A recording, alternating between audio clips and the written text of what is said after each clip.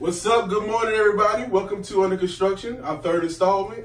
I'm Rodney Richardson. To my right, this is Jamal up? To my left, this is Vince Dunlap. Uh, fellas, how was your weekend? Man, busy, busy, busy, busy, busy watching the Hornets win.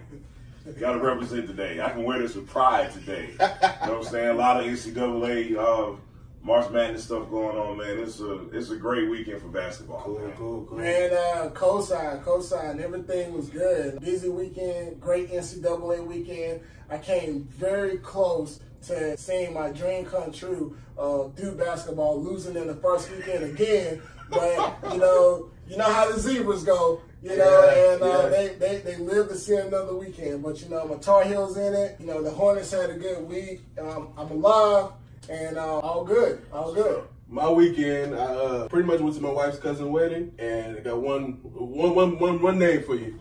Jeremy Lamb! That's all I gotta say, man. That's all I gotta say. All right. All right, we're gonna uh, segue into the uh, tenth pick topic. Uh, we're gonna discuss the Hornets. Uh, last week, the Hornets went three and one, with the lone loss being to Philadelphia, and back-to-back crazy wins against the Celtics and the Raptors. One noticeable thing was the youngsters got to play. How do you feel about it, Jamal? Well, first of all, I want to point out that someone on this panel said we're going on, on four. We're not going to say who, but you know, I get why, man. And the thing, look, man, going into this week, I looked at this schedule and I just said, man, we're done. Like, just, I, I even tweeted, I said, April 10th can't get here fast enough. and I did it bef- at halftime of the Celtics game. I said, we were down, what, 18 to the Celtics? Yeah, I'm just like, yeah. Get the season over with. I'm I'm I'm tired. I can't take anymore. And you fast forward to last night, they're sucking me back in. No, I don't know. Don't suck me back in. No. like drug, man. It's Do, a drug. do, do not do this to me, Hornets. do not put my emotions back into this. I was perfectly fine with no emotion. I was perfectly fine with wanting the season to be over with. I was comfortable. You suck. You have sucked me back in, Hornets. Why do you play with our emotions like that? It's like being in a sucky bad relationship. It's like, no, don't do this. Let me go. And and, And we're back here. And and and to co-sign off of what Jamal said, I really don't have anything to say. If you would have told me going into last week that we would have played the 76ers, that we would have played who was it, Minnesota, Minnesota. then we turned around and we played Boston, and then we played Toronto. If you would have told me that we would have played those four teams in one week and we would have went three and one, Three and one. Tony Parker didn't play two of those games. Nick Batum didn't play one of those games. Cody Zeller's been out for two or three games. Like, I would have slapped you across the face. I would have slapped you. Like, I would, I would have slapped. The, the, the only positive that you could have spun to me was the fact that we were going to get to see the youngest play. Gotcha, Because the season was over with. We're going to get the number nine, the number 10, the number 11 pick again. Right. And, and, and, and we'll be doing this all over again. cool. So for us to go three and one, um, I just want to say, James Borrego, welcome to the NBA Well, coaching. welcome to the season, James. You have arrived. You have arrived. You have You arrived. have It took you. It took you 60, 70 games, but you got here. We, okay? you finally here, Borrego. Now- Thank you, sir. Now I don't have any tea on me right now, but if I did, I would be drinking it right now. Because Got some y'all- coffee right there. Now, You now. I don't drink coffee. I don't drink coffee. Now look, for those of you that don't know, we, we, we have a Hornets group. So if you're a Hornets fan, go look for Charlotte Hornets. There's about 6,000 members in there. We're always talking the Hornets basketball. So for the entire season, I've been saying three words. Play, Play the the youngins. youngins. Yes, Play sir. the youngins. I've been saying that all year, and I've been getting my ass beat all year for that. Even even on one of my episodes, I heart okay. The season is about done with. Play Bacon, play Bridges, play Graham. Tony, you're retiring. You're old. Thank you for your service. And, and, and it looks like the Hornets are doing that. Do you guys want kind of want to dive into your uh, opinions of Bacon and uh, and Bridges play? Before I do that, let me say something. I don't ever want to see Nick Batum again. like ever. I look, man, I know how unrealistic this is. And I, I know it's like fantasy world. I don't care if it takes getting David Tepper involved. Buy Nick Batum out and just I- call call the CEO of Bank of America, call David Tepper, whatever you got to do. But I don't ever want to see him again, man. And as it relates to your question, man, Bacon is getting the minutes. Bridges is starting. Devontae Graham. It's like all these dudes are growing up in front of our very eyes on the job. Yeah. because I, I will. I'll present a, a somewhat of a counter argument to playing them early and earlier in the season. I still say, especially Devonte Graham, quite still wasn't ready yet. But it's very possible that, like I said, we are seeing these young guys grow up when it's time. It's like perfect timing right now. Yeah. You know what I mean? And the timing couldn't be better. And kudos to James Borrego. I'm really, really, really impressed with Dwayne Bacon. And the thing is, what I'm most impressed about with with Bacon and Devontae Graham, they are showing more po- poise than the $25 million man. Facts, facts, facts, facts. Not, we're not even talking ability and athleticism, but poise. Gotcha. Not making stupid mistakes. Gotcha. Like it, it, I hate to harp back on Batum, but dude, you've been in the league how long? Like, 10, 11, and you got young guys who are doing it better than you when we need them to. Yeah. And the caveat off of that, let me point out that, that last night versus Toronto, when uh, Kemba Walker and the rest of the starters came back in late in the fourth, we had a, a 12 point lead. When Malik Monk and Devontae Graham went to the bench, that's when we lost that lead. That's when Toronto made it a game. James Borrego gets paid a lot more money than I do to be a head coach. He he obviously knows what he was doing. But I actually would have took him out and put Graham and Monk back in. Thankfully, we were able to shock the world. Thank you, Jeremy Lamb, again. But, Jeremy! but I think I think it is almost criminal that the youngest haven't played more minutes up until this point. Gotcha. And if I if I were to see James Borrego, if I were to see Coach, I would want to ask him why did he start playing him now? Because after the All Star break, I can answer that. after the All Star break, I took it as a tank move. Not not hey, the team was gonna tank, but I took it as you know what, we probably aren't gonna make the playoffs, so let me give these guys some burn now. And again, we just went three and one in the past week, and I don't know what it is about fans that they have to wait and see it before they do see it. But you guys know I've been screaming to play Bacon for the last two years. Right. And this goes back to Steve Clifford. What I would never understand is how you can take Devontae Graham and send him to the G League and watch him put up 42 points, call him back up, and then sit him on the bench for two weeks. right, right. That that that will never make sense to me. And to see these guys play now, when it comes to your tank question, I'm, I, I honestly don't know which way to answer because. The youngins are playing good. I honestly feel like we can actually give the Bucks a run for their money. I'm not saying we will win, win the series, but I feel like we can give them a run for their money. So do we continue to make this? Because the schedule, the schedule doesn't get easy. Right. Yeah. So do we continue to try and make this push and we miss the playoffs by one game, or we get swept in the first, or like like Let me- let me- I got you. It, it, well, well, in general. So currently, the Hornets are still tenth in the East, Right. But they hold the tiebreaker against Miami and Orlando in any situation. So we have an outside shot of winning winning the actual division and getting the eighth seed or seventh seed. It's uh, taking a viable option at this point.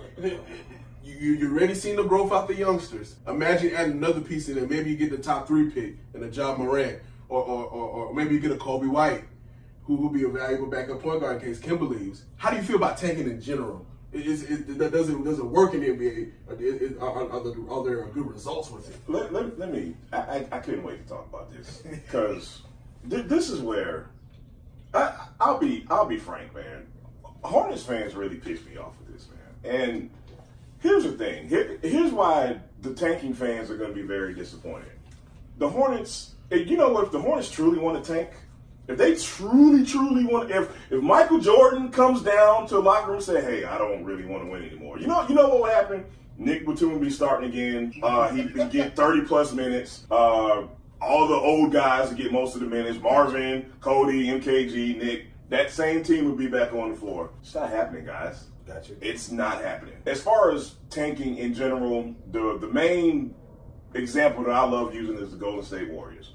The Golden State Warriors never purposely tanked, and they got Klay Thompson and Steph Curry out of the deal. The Brooklyn Nets didn't tank. Look at look at where they are versus where they are where they were Currently, currently sixty four, four or five years ago. You know what I mean?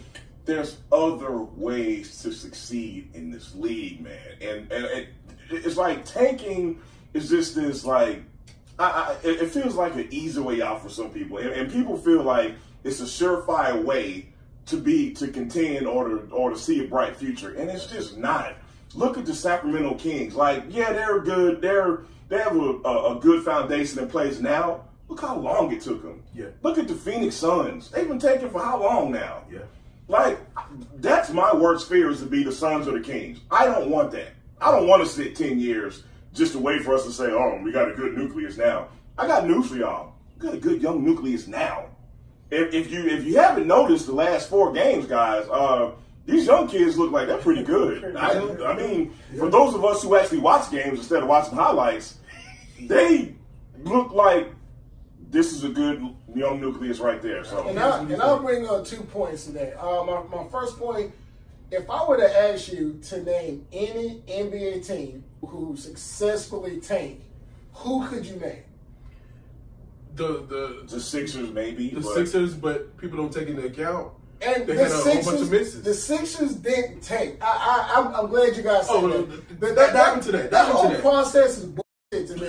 okay, here's why. Here, here's my deal on why the Sixers did. Did they suck? Yes, they royally suck. But they drafted Embiid, and then what happened with Embiid? He got injured. He missed No, no, his no. entire rookie he season. got injured. No, no, no, no, no, no.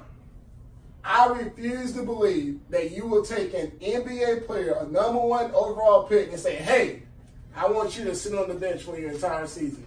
I want you to take the game that you love, not practice, but the game that you love, that you've been working on your entire life, and I want you to sit down for an entire year.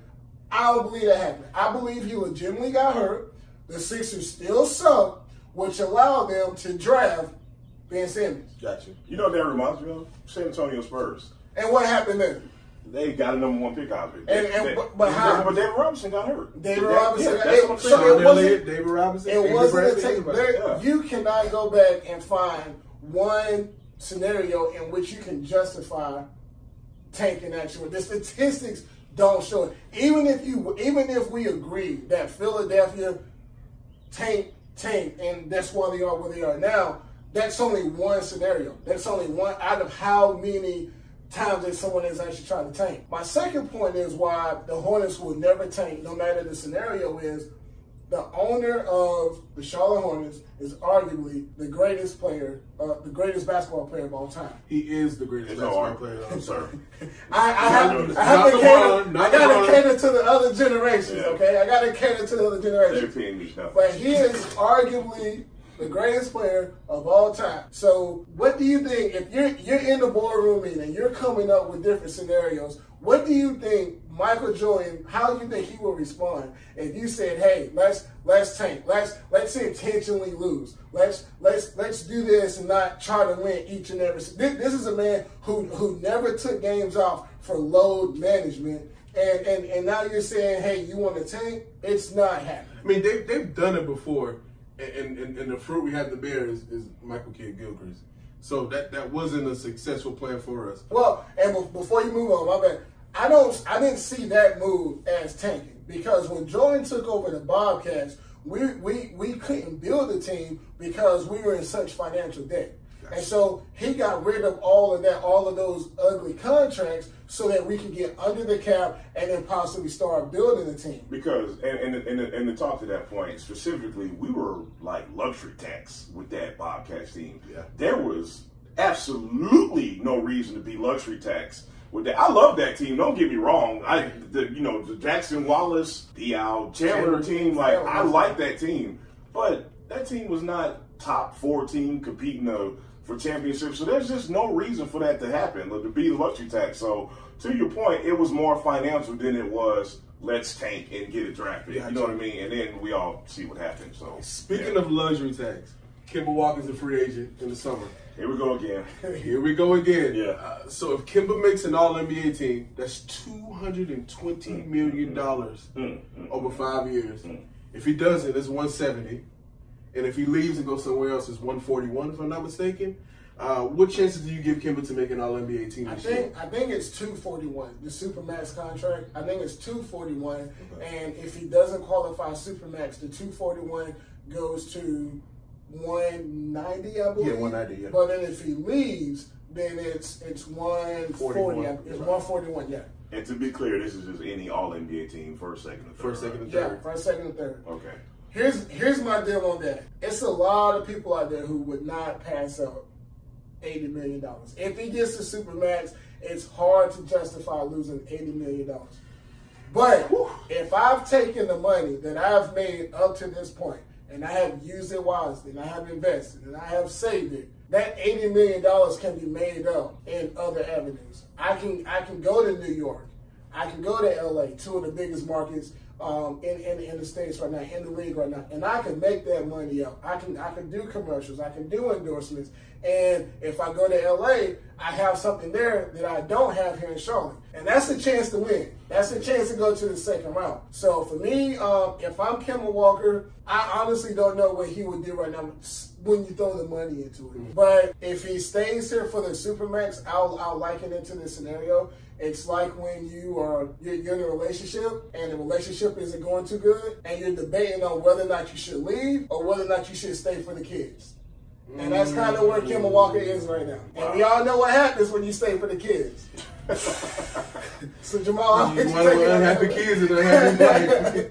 I'm now I'm depressed. Thank you. I want to talk about it. Um, no, but but but I, have been pretty consistent on where I stand with the whole Kemba Kemba Walker thing, man. And I can only harp on what Kemba has said. And every indication is he wants to stay here and make it work. Again, none of us are insiders. We don't have the inside scoop. We ain't talked to Michael.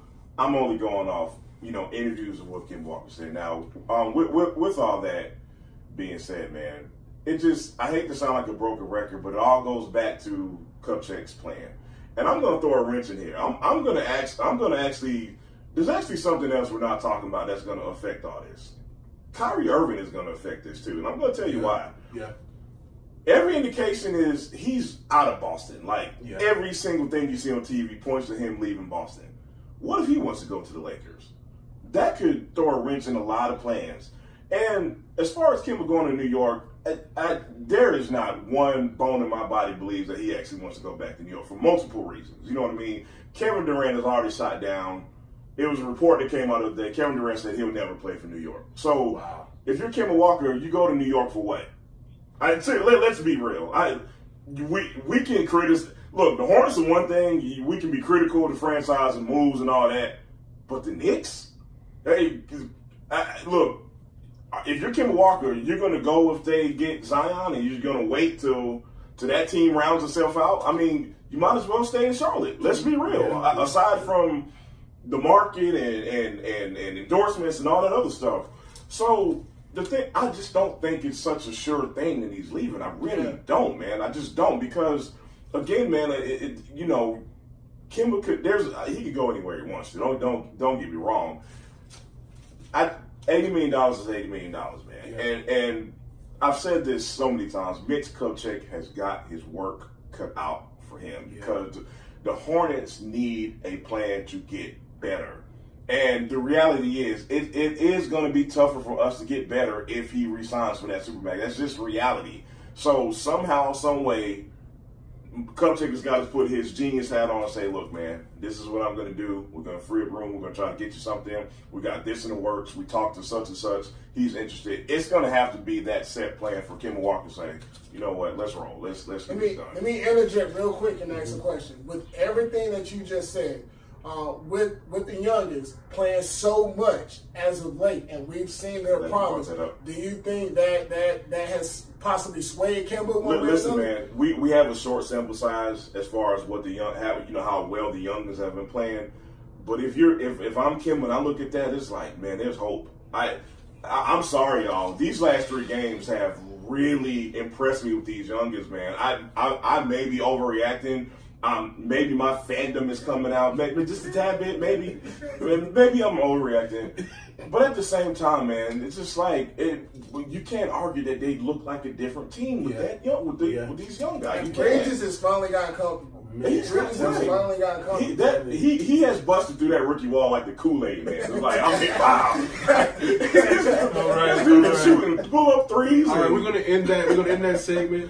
And uh, Hornets fans, if you have any questions or concern for us, uh, please send submit a video question. Uh, we'll, we'll, we'll try to address, uh, to address those questions to the uh, Panther segment uh, called Back to Back Winning Season. Uh, no pun intended. so, re- Pun intended. Pun intended. Pun intended. so recently, Cam Newton was on the uh, late night show with James Corden, and uh, he had an interesting comment. February, he went vegan. When full is Cam? vegan. When is Cam not had it? Yeah, yeah, comment? Cam Cam is a, is, a, is a man that's interesting. February was was vegan, and March no climax. So, fellas, I have a question for you. How do you feel about that? And have you ever had to sacrifice uh, anything important for the betterment of yourself? Well, luckily I'm not a uh, athlete who makes millions of dollars, so nothing to sacrifice, and it's probably never been on purpose. Um, other than that, as far as Cam Newton comments, as, far, as far as the Cam Newton comments, man, TMI a little bit. Man, like, I mean, is was- that okay to say TMI? You know what I mean? Um,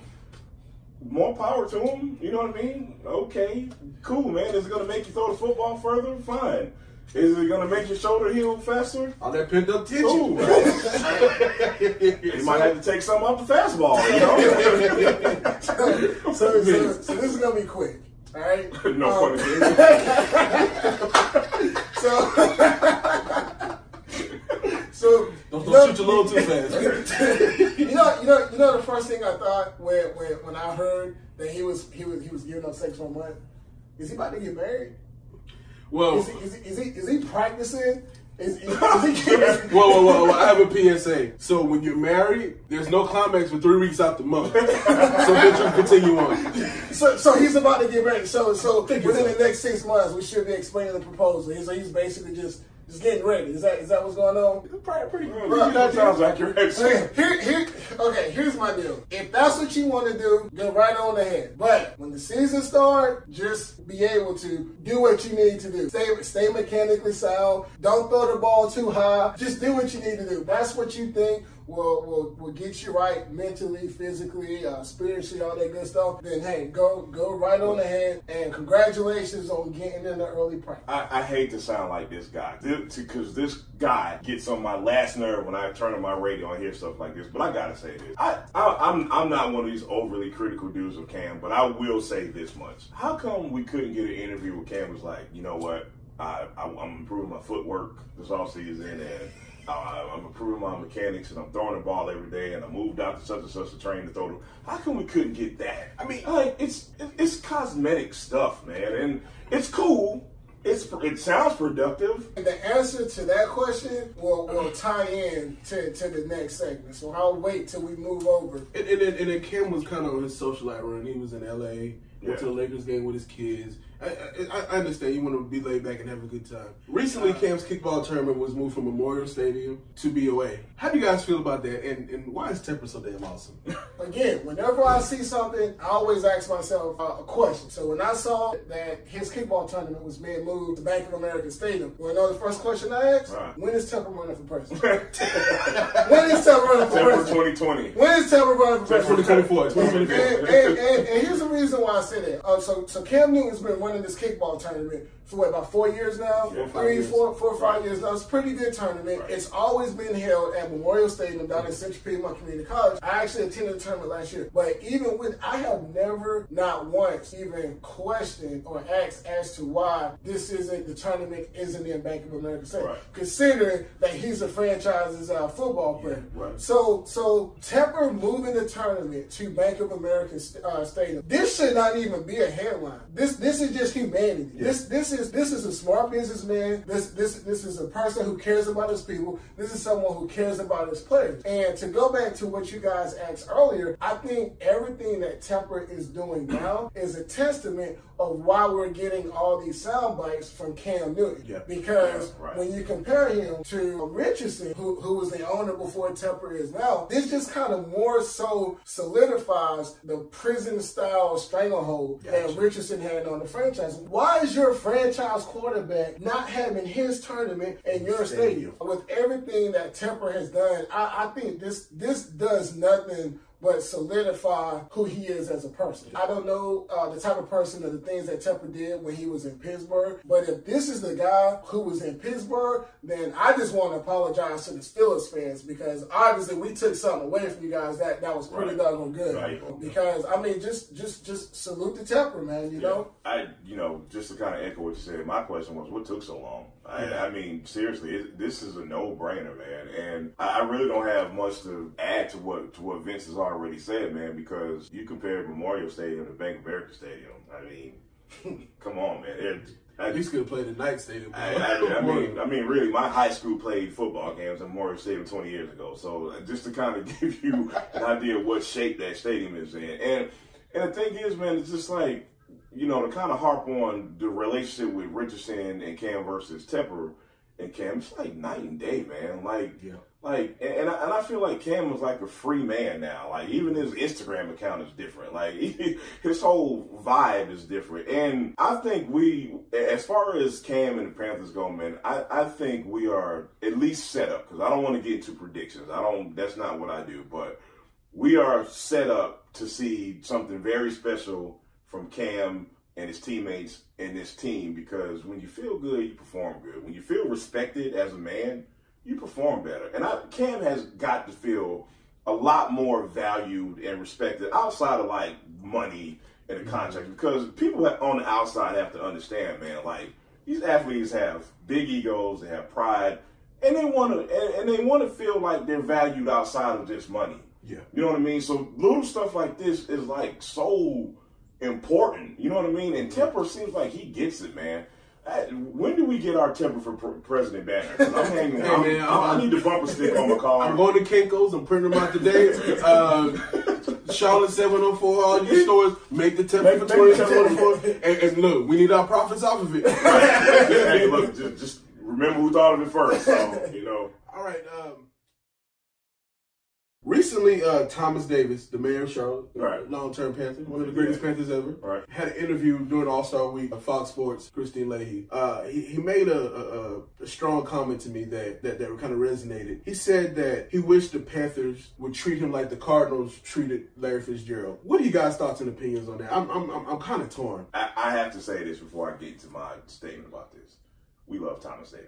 Mm-hmm. If, you don't love Thomas Davis as a Panther, you're not a Panthers fan. It, Yeah. It's simple as that. Thomas Davis has been everything. He is a landmark athlete to this franchise. He's a cornerstone to this franchise. We love him to death. With all that being said, you look at the Panthers releasing him versus the Cardinals holding on to Larry Fitzgerald, and it speaks to the difference between the franchises. Mm-hmm. Look at the Cardinals franchise versus the Panthers franchise in the last 10 years. And sometimes, man, tough decisions have to be made. We don't like it. We, none of us are going to like seeing Thomas Davis in the Chargers uniform next year. It's going to look weird. We want, it, it- you know, the, the, the story would, would, would look a lot better if Thomas Davis retired as a Panther. We, we want to see that. But the thing is, man, we, it's a new regime here. It's a new owner. And these decisions have to be made, man. The Panthers have to. They're, they're not in the salary cap hell the Hornets are in, but at the same time, they had to clear money off, man. They got to get younger. It was of the highest importance that the Panthers get younger on defense. And Thomas was an old dog on that defense, Yeah. man. And it, it was just necessary, man. And and, and I, you know, I, I I- hope Thomas Davis doesn't feel like the Panthers disrespected him. I don't know what happened as far as the discussions. I don't know if mm-hmm. it's if he didn't see it coming. I only hope he just kind of understands why the Panthers had to make the move that he did. And when it's all said and done, man, number 58 better be in that damn ring of honor when it's all, Yes, it- it's, it's not even a discussion. You know what I mean? When So, when I first heard about the story, um, I kind of looked at it as, oh, here we go, another another athlete with an ego complaining, you know, all that stuff. And then I went and watched the soundbite. And after watching the soundbite, after watching the interview, I actually kind of sympathized with, with Thomas Davis because he, he wasn't going out like we've, we've had players in the past who once they got let go, they went and taking shots at the organization. But that that's not what Thomas Davis doing. He he basically said he respect the move. He doesn't like it, but he respect it. And he's just saying that if I had it my way, this is what I would have wanted to happen. So I, I kind of I empathize with, with with what he said. And we've all been in situations that we wish it would have played out a different way. He was very respectful in the interview. He didn't throw shade at anybody. Uh, he made it a point to uh, talk up uh, Coach Rivera, call him an A1 dude and all that good stuff. So there was no shade. There was no animosity in his voice or anything like that. But to get on the business side of the decision, I honestly think that this move by Hurney was just a move. He was making a safe move. Mm-hmm. It wasn't necessarily the right move. It wasn't necessarily a bad move, but Hurney is the reason that we were in the position that we were in when um, Gettleman took yeah, over. That's a good point. And I think what he's doing, he is simply just trying to avoid those same um, traps that he fell in the first go and, and, and, let, and let me say this too, man. You know what? When when Hurney when Hurney got kind of re rehired the second time, man, you know, I, I didn't know how to feel about that. I was kind of like, well, this is kind of just out of necessity. We, you know, it, Gettleman got fired at a really weird time, and it wasn't a lot of time to go out and look for a new GM. And you know, and we're at this point now where it looks like Hurney is his job is in his job is in place, and he's not going anywhere. I say all that to say sometimes a, a, second go around is not a bad thing yeah. because you yeah. can learn from your mistakes the first time. And for Hurney to make a move like that, we know 10 years ago, Jerry Richardson and Hurney would have never did anything like this. You know what I mean? So it, it's just kind of cool to kind of see, you know, as much as we want, you know, Thomas Davis retires as Panther, but it's still cool to see the Panthers kind of evolve into some evolve into a franchise that prior that prioritizes making smart decisions and winning versus kind of like blind loyalty. Yeah. Right. And, and, here's what's going to happen. The fan, the fan base is soaking right now because, mm-hmm. like, like, like Jamal said, we love Thomas Davis. We wish we could have seen him um, retire as a Panther. But here's what's going to happen: when the boys lined up in September, and and when Shaq Thompson started making plays, who, who, who is Thomas Davis? Right. What? what? Oh, say who is Thomas? Well, not who, but it's it. Hurney Hurney won't be vilified as much. Gotcha, gotcha. You know what I'm saying? Because because like Jamal said, we have a lot of young players on our roster who can make an immediate impact, but we we have the veterans blocking who, who, who blocking them from doing so. And uh, you know, Thomas said he's been in the game what 13 years now. Yeah. So the same way that when he came in, he took whoever else's spot it, this is the cycle of life, and it's, it's time for Shaq Thompson to get to get that star role and, and to prove why, why, he was right. And uh, and uh, I just want to say this: we appreciate you, Thomas Davis. Definitely, you, you, you, you, you fought through the three ACL surgeries, and you are the reason that I love to say keep pounding, man.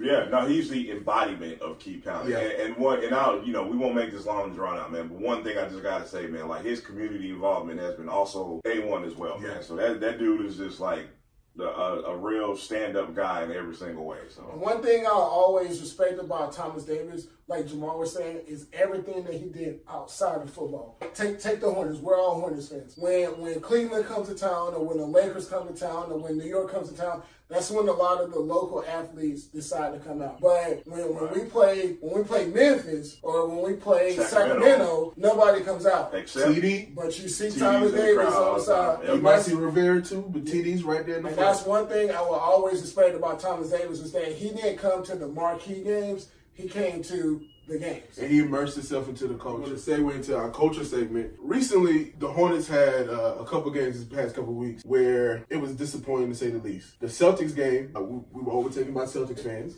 the Miami game, it was downright embarrassing. Me personally, I I I, I want to do bad things to people about that. But Jamal, can you kind of give me your feelings? I, I, know you have a lot to say about this topic.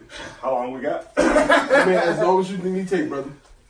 We'll talk about the Miami game first. And, and of course, I have to personalize this. Y'all know I go to a lot of Horns games. I was going to go to that one, and I didn't go to that one. The reason I didn't go, I was lazy and I was tired. And I was like, I just want to be home. It, it wasn't anything else outside of that. So I was excited about the game because of the implications of the game. The game turned into something else on the court. It was a it was a bad, bad, bad loss, which already made me angry. But what made me angrier? I'm talking about boiling point angry. A damn let's go heat chant. Are you serious? Are you kidding me? I'm trying my best not to curse right now. Are you mother? but look, man, Charlotte is an evolving transplant city. There are a lot of people who live in Charlotte who are not from Charlotte. I understand that. But where are the damn Hornets fans at to offset these classless, sleazy, bandwagon fans? I am not a proponent of doing anything stupid to get you kicked out of a game. I personally would not do that. I don't want to be banned from Hornets games. But if I looked up one day and I saw my my Miami Heat fan get punched in the face at a game, I probably would crack a smile. I'd probably be like, I, like it'd be some heart emojis over my head, like I wouldn't do it. Uh, personally, me, I wouldn't. It's just not worth it to me. But let me let me talk to the people who are from Charlotte. If your birth certificate says Mecklenburg County CMC Presbyterian Hospital. Let me talk to y'all for a second. It's okay to be a fan of your home. I, I, look, yes, we're below 500. We're struggling to get in the playoffs again. Your opinion on Michael Jordan isn't favorable. I get all of that. Where is your passion? It is okay. Some of you root for the Cowboys. They suck, but your passion is still there. Why can't we get the same passion for the Hornets? You can you can be critical. You can talk all the crap you want to. Where's the passion? It, it's two different things. You know what I mean? And when I'm watching stuff like this, man, it's just like, okay, cool. We got uh, some bandwagon fans that we're not going to see anymore after Dwyane Wade leaves. You, we clearly know why they're there. But there should be enough Hornets fans to kind of drown that out. I have to give you another example. Last night, Jeremy Lamb hits this crazy shot to win this game, and I'm like losing my crap about this. You know what I was thinking? Why am I the only one excited about this? On my personal, I'm speaking of like personal timelines and Twitter. Not, we all know how we get down, but I'm just talking about amongst my friends, amongst people I know. Why am I the only one excited? Oh man, they ain't gonna make the playoffs anyway, man. So why? I don't. It's okay to have passion, man. Like it's nothing wrong with it. You can, you in your mind, you can say, ah, man, we're probably not gonna make the playoffs. Well, they still fight. Fight. Look, I don't mean to be long-winded about this. Oh, you're good. You're good. You're good. You're good. I have, to, I have one more example. one more.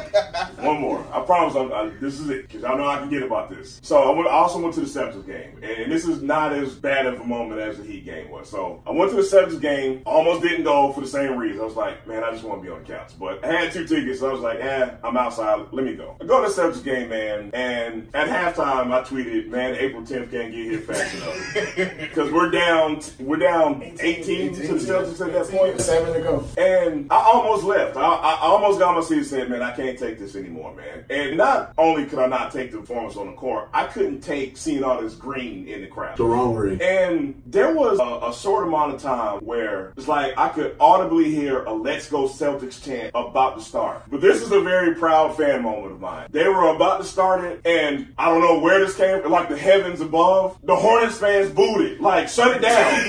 Y'all not doing this here. Like, it, let's go, boo, and, and it stopped. And I'm just like, what? Where are these fans at all the time? Where are these same fans when LeBron comes to town? Where are they at? This is Charlotte, North Carolina, man. Where's the 704 people at? Vince. So the Panthers have this problem too. You go to the game against the Steelers. That's changed a lot. It's, though. it's, it's, it's, it's, changing. It's, it's better. changing. It's better. Speak to that in general. I, just, got, just I gotta follow that. That's what I gotta follow. try your best. Try your best. Okay. Well, well, I'm, I'm gonna throw you out of you. Wait, no, no, no. The reason why it's changed for the Panthers is the reason why it hasn't changed for the Hornets. And I get, I get the transplant city and all that stuff, but we gotta have a winning product. We gotta have a winning product, and it's not right when when when we start winning consistently and those fans start coming, they will be bandwagon fans because they're only there because the team is winning. But if you are consistently losing, and this goes back to our conversation last week, if you are consistently losing, it is very hard if you live outside of Uptown to drive down there, deal with that traffic, deal with that parking,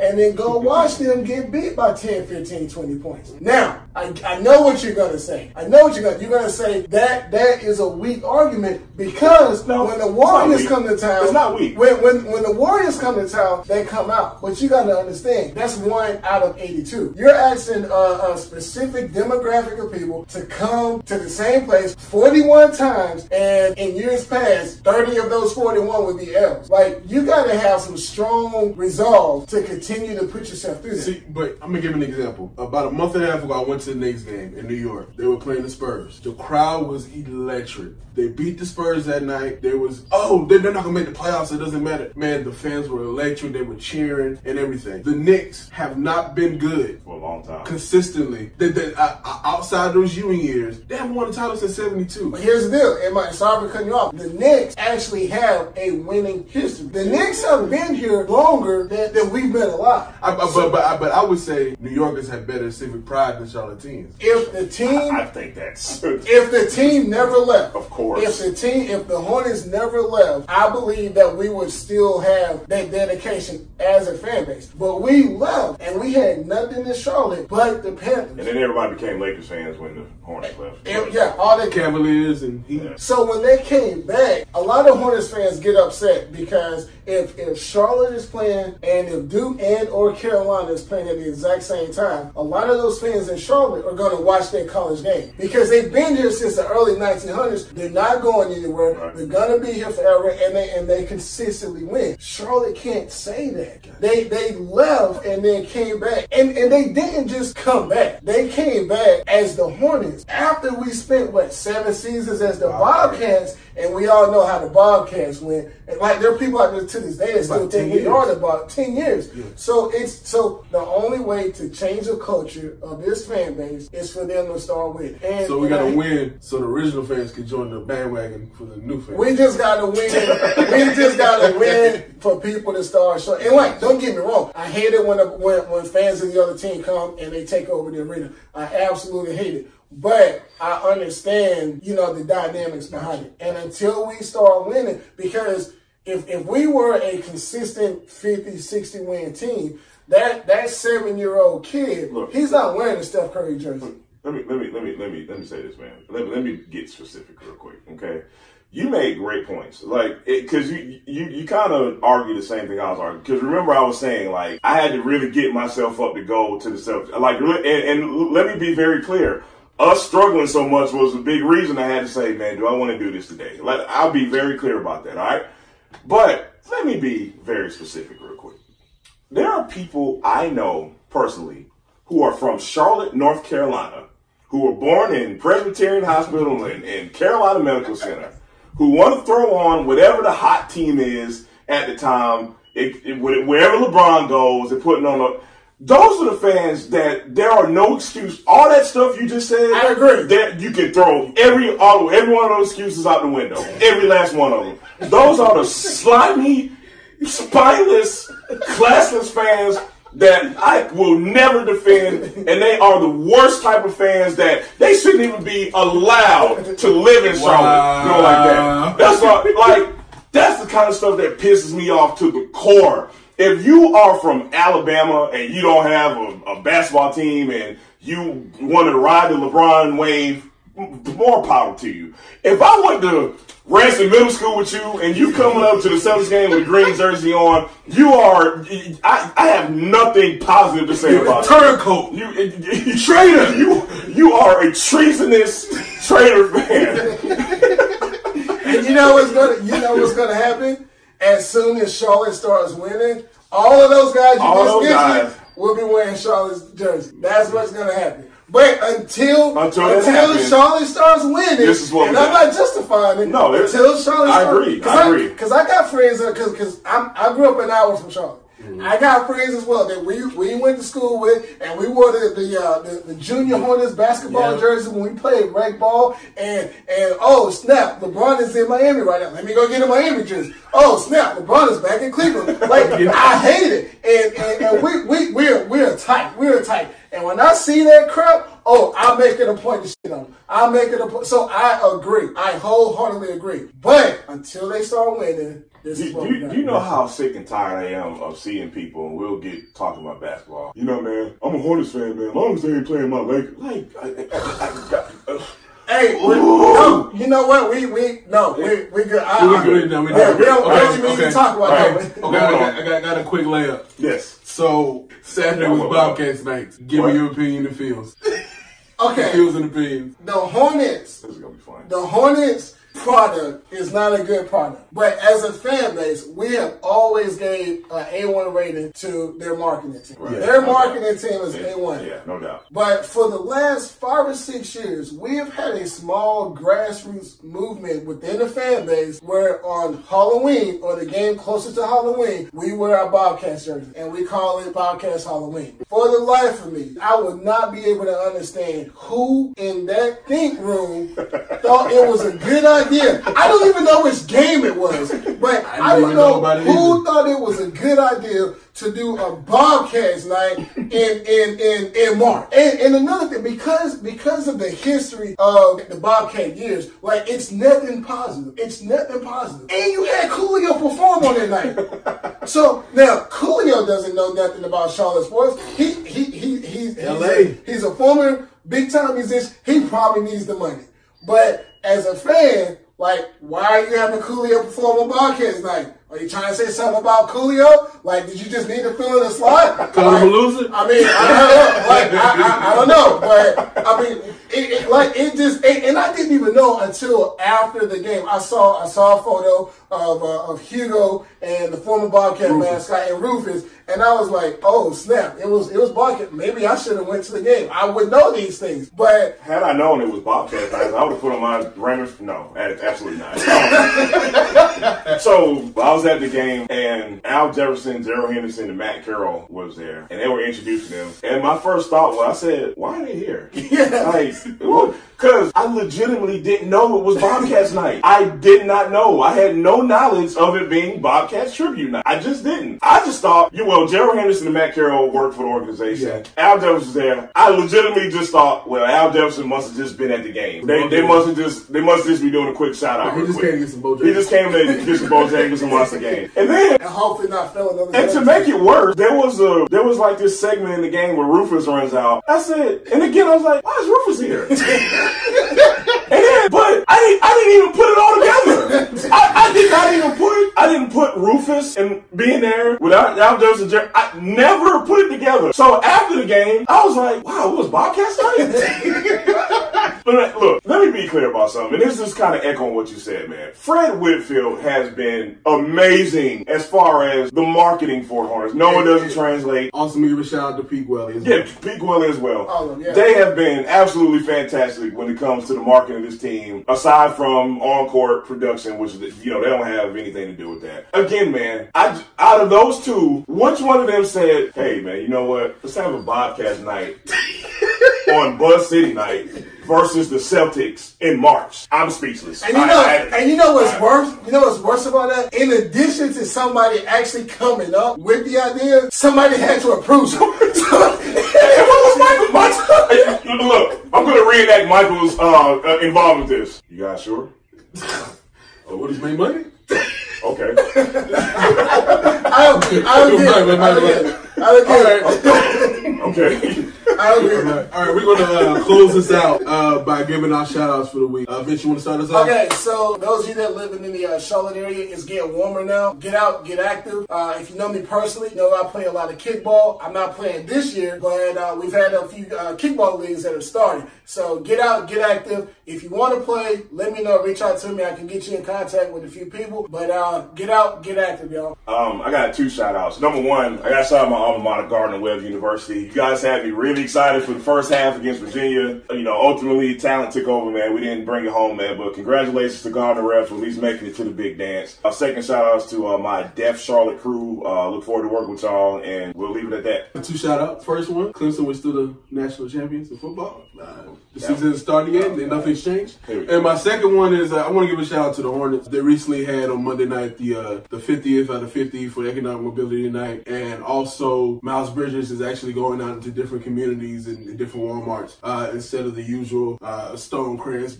Birkdale, and all that. Miles. And so, uh, just want to give a shout out to the Hornets. And uh, we, we want to thank you guys for watching Under Construction. I hope you guys have a wonderful week. Uh, keep pounding, keep buzzing. That's it. Jamila!